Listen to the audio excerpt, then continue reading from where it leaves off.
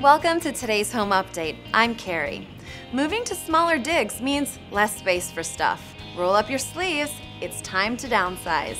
First, allow yourself three months to sort through belongings. This will give you time to assess every room in your home as well as the attic, basement, garage, or storage shed. Next, leave no room for gray areas, or in this case, maybe piles. Ask yourself if you would replace the item if it disappeared.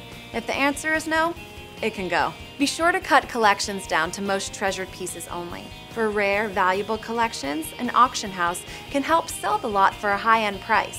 Also, purge multiples of common, non-sentimental items. Don't sacrifice precious space by moving duplicate items to your smaller home. Homeowners tend to have doubles of kitchen supplies.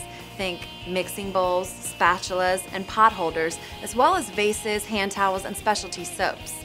Finally, when in doubt, donate or sell. Donating your items can help ease the transition because you know they're going to a charitable organization. If you'd like to sell some of your items, keep in mind that Craigslist favors furniture and cars, and eBay charges a selling fee. Thanks for watching today's home update. See you next time.